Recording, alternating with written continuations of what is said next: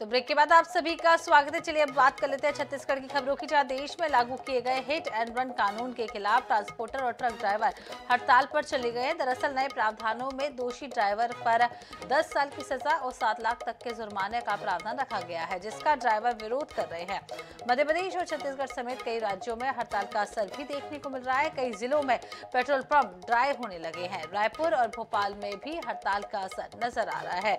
कई जगहों पर फल सब्जियों की सप्लाई भी पर भी असर पड़ रहा है। इसके अलावा आपको बता दें कि फल सब्जियों की ज़्यादातर सप्लाई महाराष्ट्र, पंजाब, यूपी और आंध्र जैसे बाहरी राज्यों से होती है। इंदौर, जबलपुर, रीवा, सतना, ग्वालियर, उज्जैन समेत कई जगहों पर ट्रक खड़े कर दिए गए हैं। ट्रांसपोर्टर्स को हड़ताल के बाद आम जनता को खासी परेशानी का सामना करना पड़ रहा है। तमाम बस ड्राइवर भी हड़ताल पर चले गए। छत्तीसगढ़ की बात करें तो हड़ताल का असर यहाँ पर भी देखने को मिल रहा है, जहाँ रायपुर, बिलासपुर, रायगढ़ बलौदाबाजार कोटा में ट्रकों के पहिए थमे हुए नज़र आए। हड़ताल की वजह से लोगों ने में इस बात की भी आशंका है कि पेट्रोल डीजल की कमी हो जा हुई जा सकती है और इसी वजह से पेट्रोल पंपों पर भी लंबी कतारें लगी हुई हैं।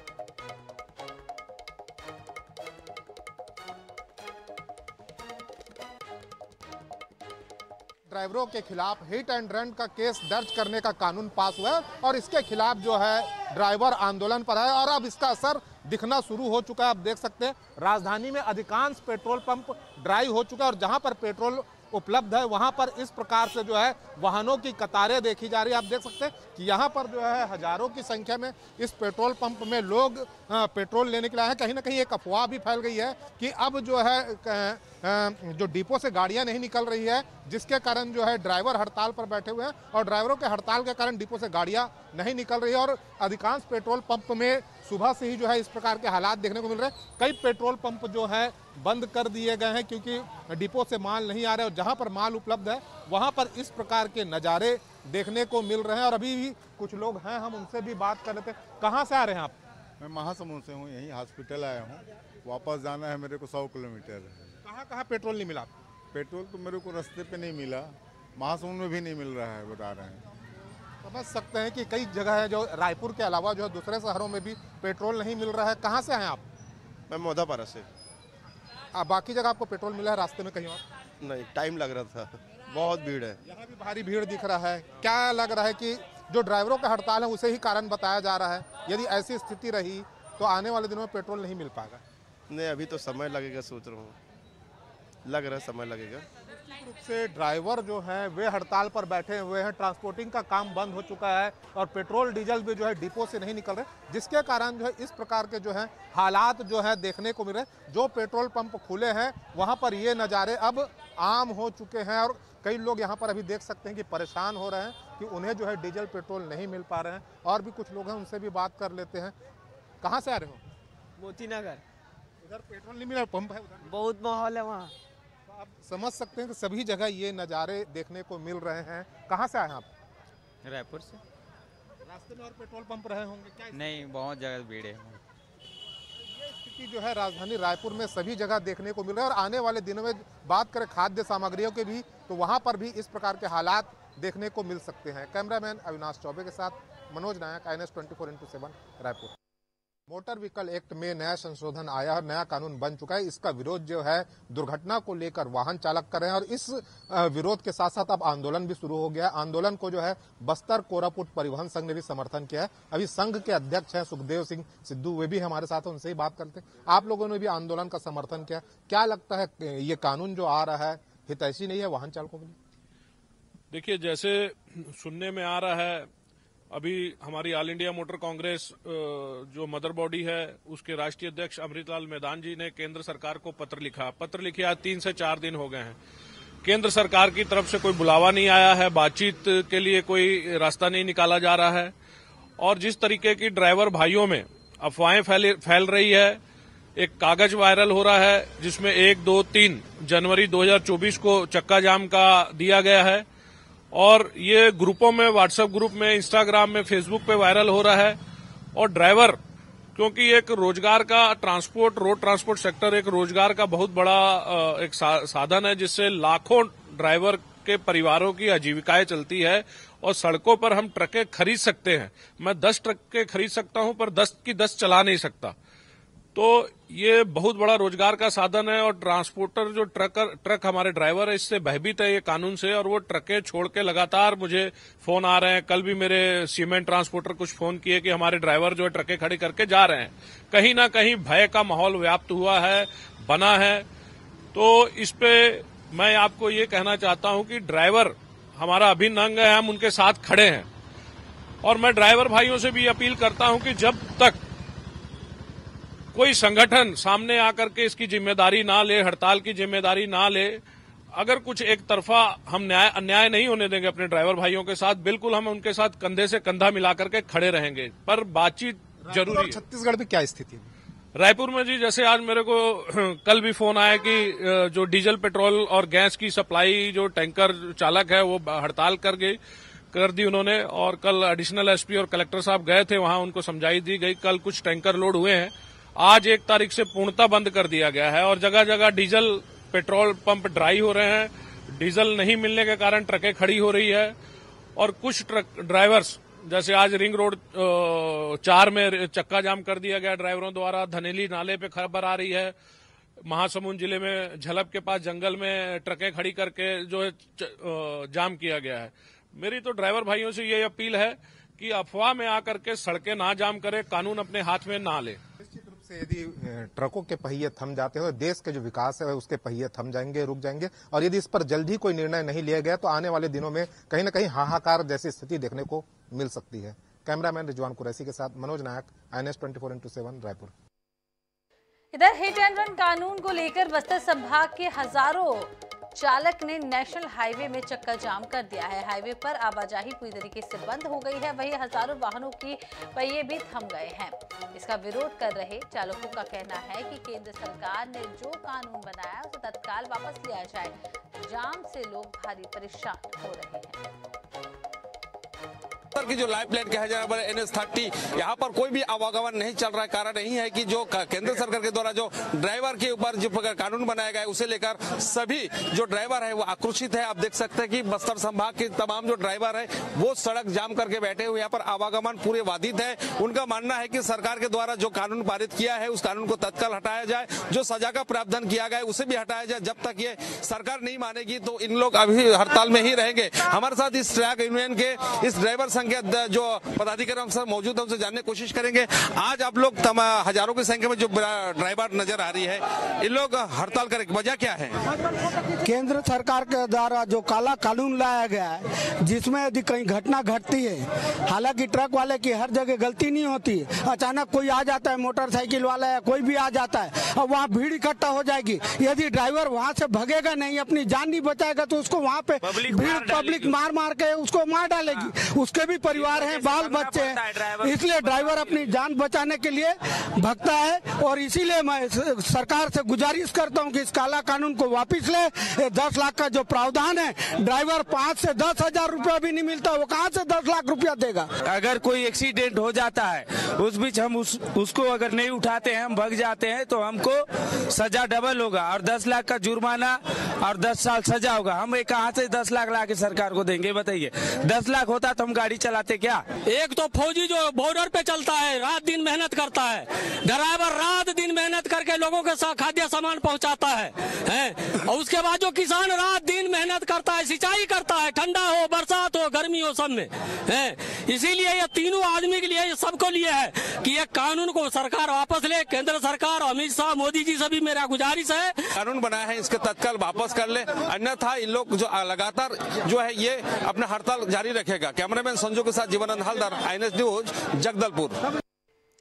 इधर अयोध्या में राम मंदिर निर्माण और प्राण प्रतिष्ठा को लेकर देश भर में भक्ति और उत्साह का वातावरण है। छत्तीसगढ़ के लोग भी अब इस उत्साह और भक्ति के वातावरण का साक्षी बनने जा रहे हैं। जी हाँ राज्य सरकार ने मोदी की गारंटी के तहत प्रदेशवासियों को अयोध्या धाम का दर्शन कराने की योजना पर काम करना शुरू कर दिया है।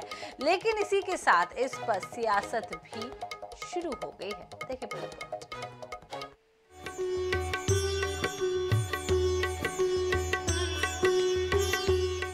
अयोध्या।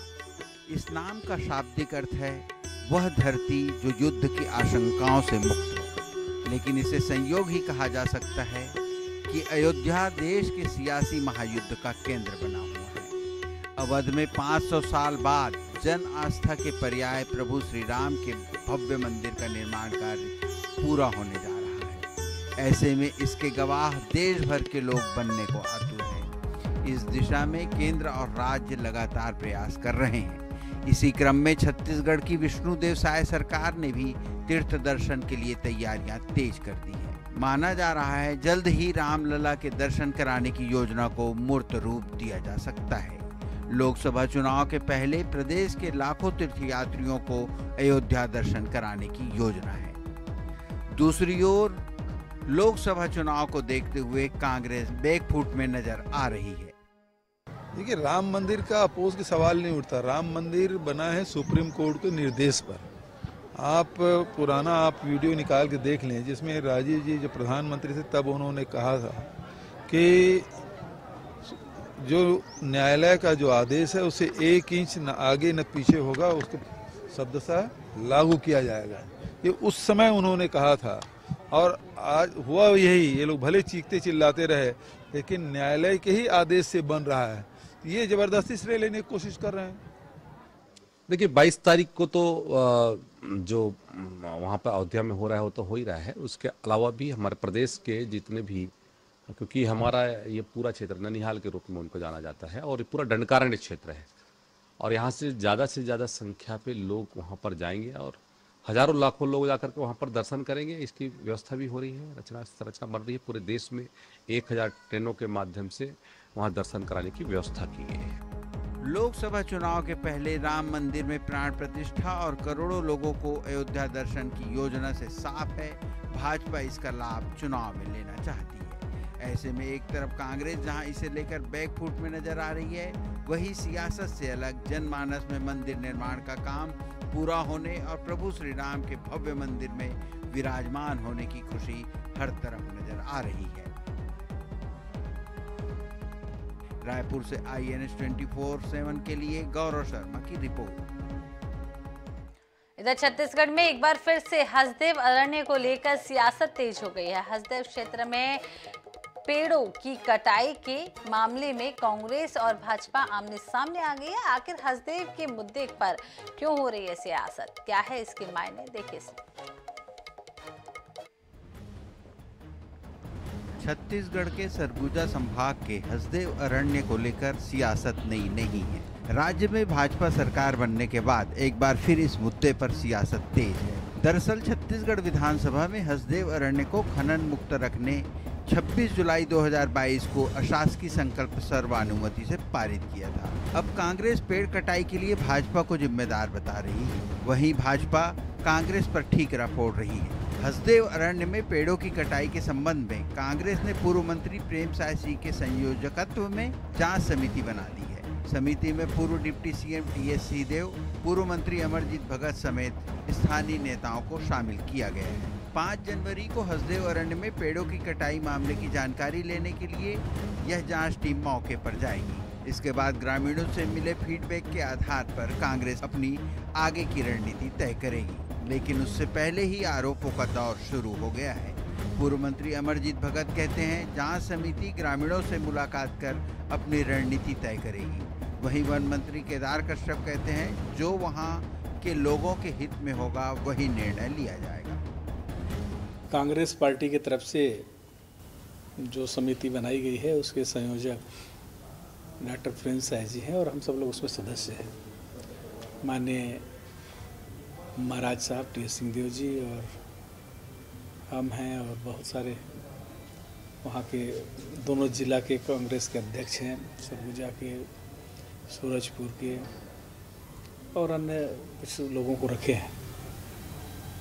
तो जिस दिन संयोजक बोलेंगे, उस दिन हम लोग जाएँगे, सर। जिन लोगों ने कल तय हसदों के विषय को लेकर के पिछली बार तो बहुत सारे विषय आए थे और क्या अनुबंध हुआ है और एम पर क्या क्या विषय हैं, उसको एक बार देख लेंगे और उस पर चर्चा करेंगे और जो भी हमारे वहाँ के लोगों के हित में होगा, वो हित के आधार पर हम कदम उठाएँगे। हसदेव अरण्य में पेड़ों की कटाई को लेकर स्थानीय लोग विरोध कर रहे हैं। दूसरी ओर सामाजिक और राजनीतिक संगठन भी इसे लेकर झंडा बुलंद कर रहे हैं। ऐसे में यही उम्मीद की जा सकती है, हसदेव अरण्य को बचाने के संबंध में जल्द निर्णय हो। तभी स्थानीय आदिवासियों के जल जंगल ज़मीन की रक्षा का संकल्प भी पूरा हो सकेगा। रायपुर से I N S twenty four seven के लिए गौरव शर्मा की रिपोर्ट। इधर स्वास्थ्य मंत्री श्याम बिहारी जायसवाल ने सोमवार को मंत्रालय में पूजा पाठ के बाद पदभार ग्रहण किया। स्वास्थ्य मंत्री की ज़िम्मेदारी संभालने के बाद मंत्री जायसवाल ने कहा है कि प्रदेश के एक एक व्यक्ति की सहायता सेहत की चिंता की जाएगी। आईएनएच न्यूज़ से खास बातचीत करते हुए उन्होंने कहा है कि सुदूर अंचल से लेकर शहरों तक गुणवत्तापूर्ण स्वास्थ्य सुविधाएँ उपलब्ध कराना पहला उद्देश्य रहेगा और पदभार ग्रहण करते हुए स्वास्थ्य मंत्री ने स्वास्थ्य विभाग में रिक्त पदों पर जल्द भर्ती करने के निर्देश दिए हैं। मौजूद है स्वास्थ्य मंत्री श्याम बिहारी जायसवाल, जिन्होंने आज मंत्रालय में अपना पदभार ग्रहण कर लिया और पदभार ग्रहण करने के बाद बैठक भी लिए आज पदभार ग्रहण करने के बाद बैठक ली है। किस तरह के दिशा निर्देश दिए और क्या प्राथमिकताएँ स्वास्थ्य को लेकर रहेगी अब? देखिए, समय बहुत स्पीड से भगता है। आज मेरा पहला दिन था और पहला दिन में सभी वरिष्ठ अधिकारियों के साथ एक बार परिचयात्मक बैठक था। बैठक के बाद वीडियो कॉन्फ्रेंसिंग के माध्यम से पूरा, पूरे छत्तीसगढ़ के, चाहे सीएमएस हैं, चाहे मेडिकल कॉलेज के डीन हों और विभिन्न संस्थाओं के जो संस्था प्रमुख और वरिष्ठ लोग हैं, उनसे बातचीत हुई है और सभी को आज दिशा निर्देश दिया गया है कि जो स्वास्थ्य सुविधाएँ हैं, वो आम जन तक कैसे पहुँच सके? नीचे से नीचे तक गाँव के लोग हों, गरीब लोग हों, या ऐसे लोग हों जो इलाज करवाने में असमर्थ रहते हैं तो चाहे उनको 102 की सुविधा हो या 108 की सुविधा हो, डिलीवरी के लिए महतारी एक्सप्रेस हो इन सभी सुविधाओं का लाभ कैसे मिल सके? इस, इसके लिए दिशा निर्देश जारी किया गया है। स्वास्थ्य विभाग काफ़ी महत्वपूर्ण विभाग है और पूरे प्रदेश में ये देखा जाता है कि डॉक्टरों की कमी है प्रदेश में। ऐसे में जो है कहीं ना कहीं जो सुदूर इलाके के जो हॉस्पिटल है उसमें अभाव है खासतौर पर। तो ये डॉक्टरों की कमी दूर करने के लिए क्या कदम उठाए जाएँगे? डॉक्टरों की कमी दूर करने के लिए हम मैंने विभाग के प्रमुख लोगों को कहा है कि एक पूरा प्रदेश का किन किन जगहों में किस स्तर के डॉक्टरों की कमी है। मुझे लगता है कि एमबीबीएस डॉक्टर लगभग हमारे बहुत ही कम पद बचे होंगे। बाकी लगभग हमारी जो पॉलिसी है, हम लोगों ने उस समय बनाया था कि गाँव में दो साल अनिवार्य रूप से देना होगा जो पास आउट है। उस आधार पर हमारे पास उसकी संख्या मिल रहा है, परंतु विशेषज्ञ डॉक्टरों की कमी है और पूरे प्रदेश में कमी है।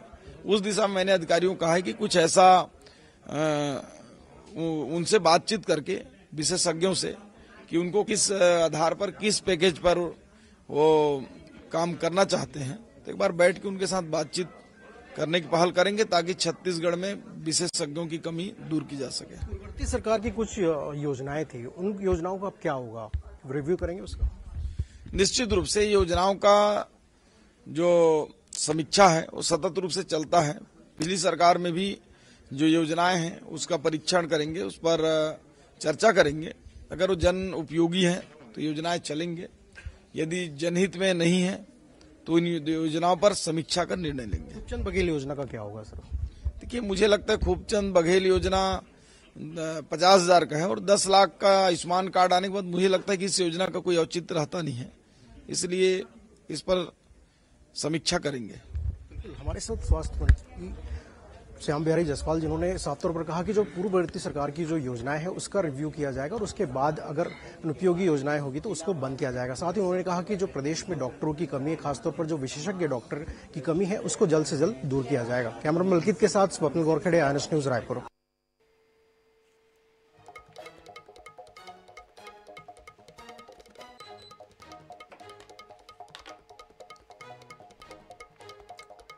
इधर छत्तीसगढ़ की महिला एवं बाल विकास मंत्री लक्ष्मी राजवाड़े ने सोमवार को मंत्रालय में पदभार ग्रहण किया।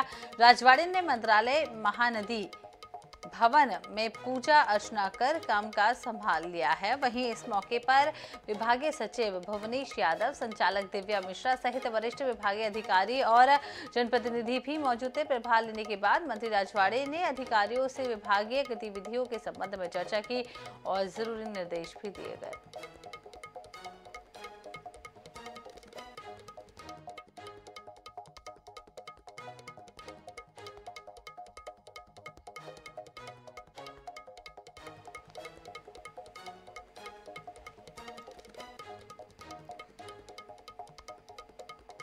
और इसी के साथ इस बुलेटिन में फ़िलहाल इतना ही। देखते रहे Anand twenty four into seven नमस्कार।